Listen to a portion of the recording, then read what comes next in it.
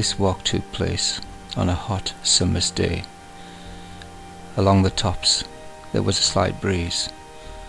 Here we see the three peaks which we planned to climb that day. Our starting point was from the car park at Buttermere Church.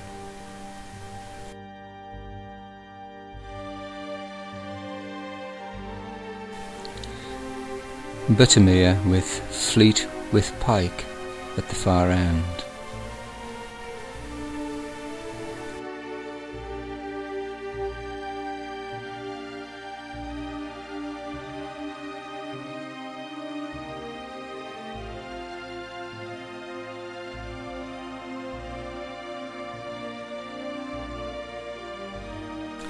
The climb up to Gatesgarth Pass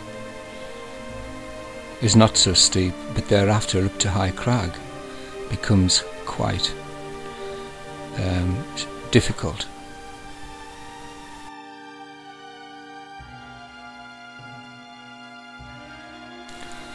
The final leg up to the summit of High Crag.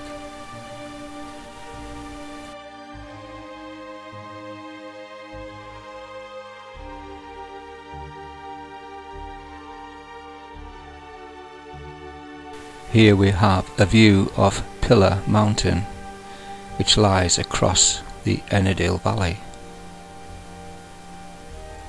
On the side of Pillar is Pillar Rock, a famous rock climbing venue.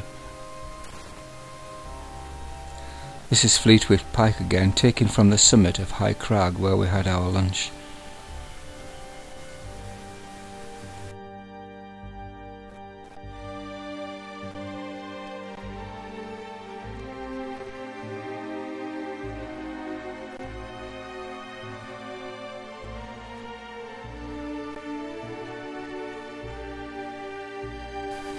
These views are taken from the summit of High Stile, and um, the highest of the three peaks we were climbing today.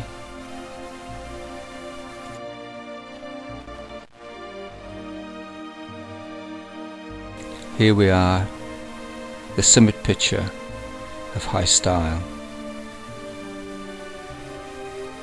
This is a view looking down to Bleep Tarn and shows our descent path which goes down to the tarn and then drops down through the woods back to Buttermere.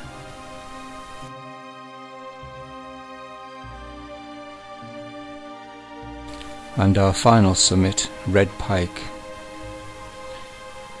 You can see why it's called Red Pike from this photograph. The descent at the top part of the path leaving the pike was over very loose red shale and had to be taken with extreme care.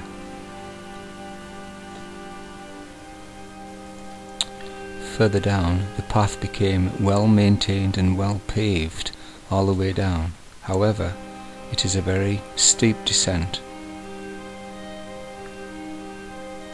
This is Buttermere village lying far down in the valley.